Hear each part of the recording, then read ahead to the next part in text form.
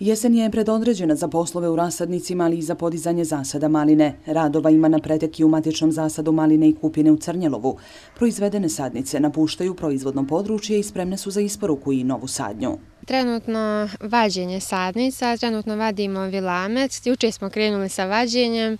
Ove, sada su sadnice fino odrvenile i spremne su sada i vrijeme vađenja.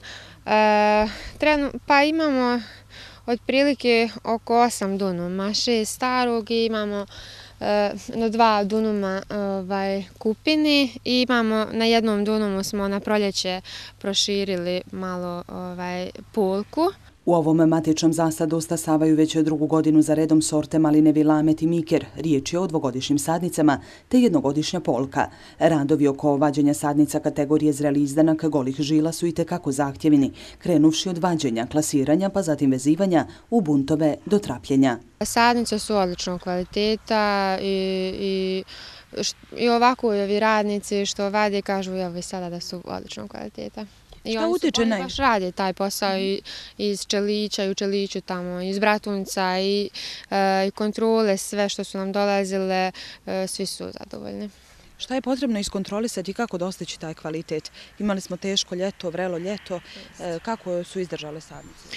Pa izdržale su dobro, mogu vam reći da je dosta matičnjaka zaraženo, međutim nama su sve kontrole, e, sve su kontrole dobro prošle, imamo sve certifikate, e, pa dosta, dosta rada, truda, navodnjavanja, zaštite, imali smo nešto malo više zaštite ove godine, odnosno na prošlu i dobre su, nema, ovaj, nema nikakvih problema nije bilo.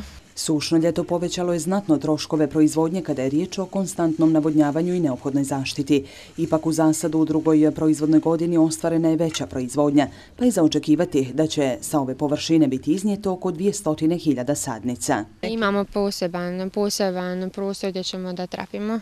Ovo ovako samo za, za neke manje površine može da ostane. Imaću jedan plastenik gdje ćemo pakovati sadnice, pošto ne idu se ovako u buntovima po 50 komada, eh, jer radim i sa, sa poljoprivrednim apotekama, one traže eh, posebno pakovanje koji skuplje sa, u, u, po 5-10 komada za, za kućnu sadnju, a ne za ovako proizvodne zasade.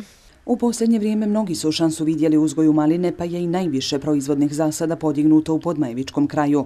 Ono što bi moglo dodatno ohrabriti one koji misle odpočeti ovaj posao jeste niža cijena sadnog materijala u odnosu na prethodnu godinu.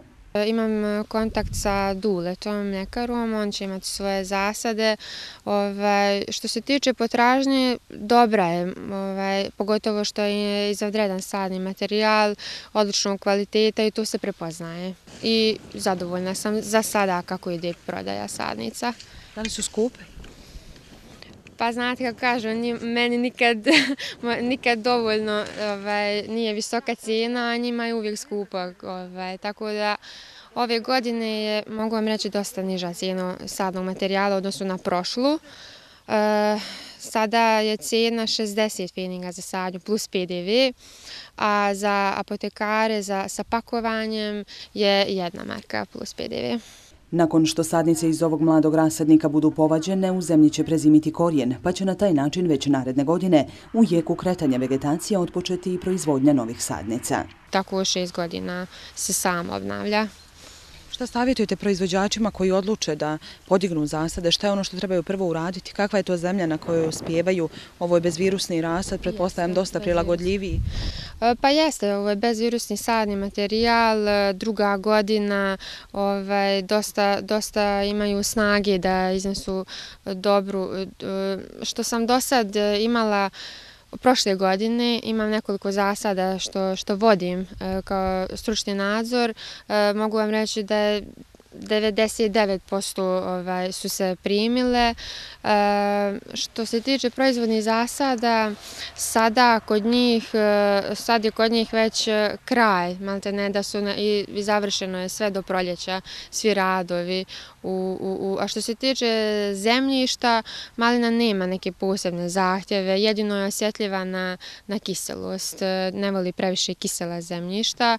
E, sadnja sama po sebi nije zahtjevna, ide, ona čak i najlakše posadi se i onda se na proljeće ovaj stari dio sadnice mora ukinuti i onda se gaje mladi, mladi ovaj, izdanci.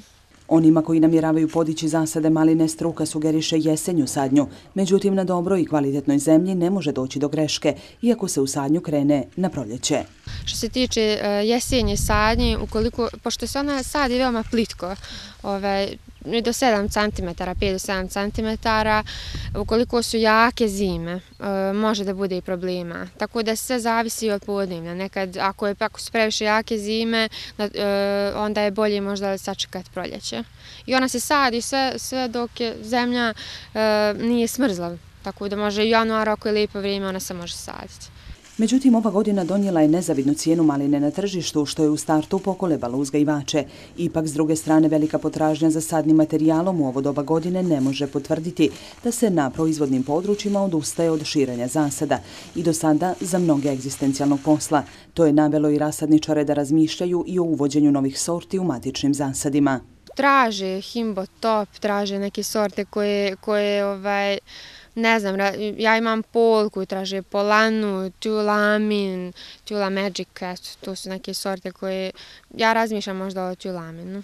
Uz kvalitetan sadni materijal, dobre uslove sadnje i sigurnog otkupljivača proizvedenog roda, lakše se upustiti u ovaj posao, ocijenju iskusni malinari kojima je ova sočna vrsta znala donijeti i dobro zaradu.